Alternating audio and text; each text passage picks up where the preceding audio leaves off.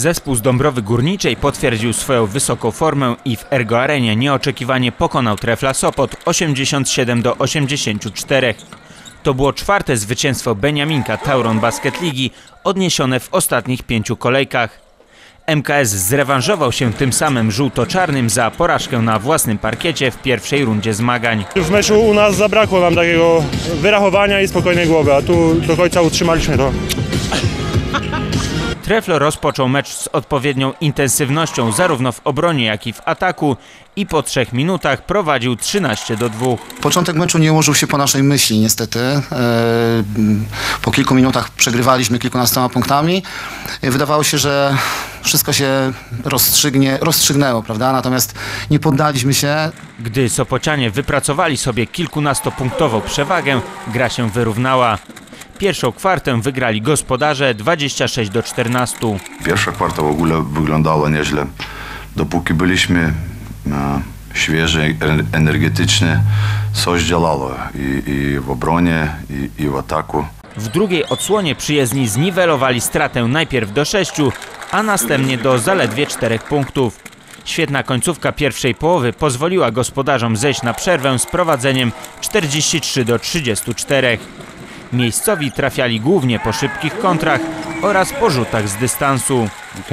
Nie da się wygrywać samymi rzutami za trzy. Mamy w zespole świetnych strzelców, także specjalistów od trójek. Mecze wygrywa się jednak defensywą, a jako drużyna nie bronimy ostatnio najlepiej. Po przerwie koszykarze z Dąbrowy Górniczej znów zaczęli gonić wynik. Przed ostatnią odsłoną Trewel wciąż miał jeszcze 5 oczek przewagi przy rezultacie 60 do 55.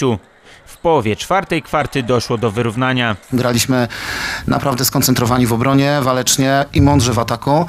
I udało nam się doprowadzić w czwartej kwarcie do remisu. Dariusz Maskoliunas nie był zadowolony ze sposobu rozwiązywania akcji ofensywnych swojej drużyny w końcówce meczu. Musimy znaleźć ten balans między rzutem za, za trzy, czy tam za dwa i podanie piłki pod, pod koszem dla chłopaków e, dużych naszych. I nie wiem, co się stało, co się, się zaczęło, że no, no nie możemy po prostu podać piłki. Na minutę i 8 sekund przed końcem MKS prowadził różnicą 6 punktów. Brakowało nam właśnie te, tego momentu, żeby przełamać trep. W końcu się to udało, powiodło i już nie daliśmy sobie wyszarpać do końca zwycięstwa. W ostatniej akcji do dogrywki mógł doprowadzić Szarunas Wasyliauskas, ale jego rzut za 3 zatrzymał się na obręczy. Sopoczanom w końcówce zabrakło sił. Oni po prostu byli świeżsi, oni po prostu byli mocniejsi, oni po prostu trafiali ciężkie rzuty i w wyniku tego wygrali mecz. Do zwycięstwa poprowadził gości Miles McKay.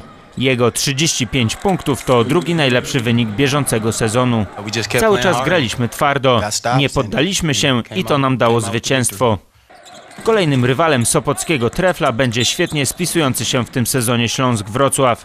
Drużyna ta podejmie żółto-czarnych na własnym parkiecie w piątek 23 stycznia.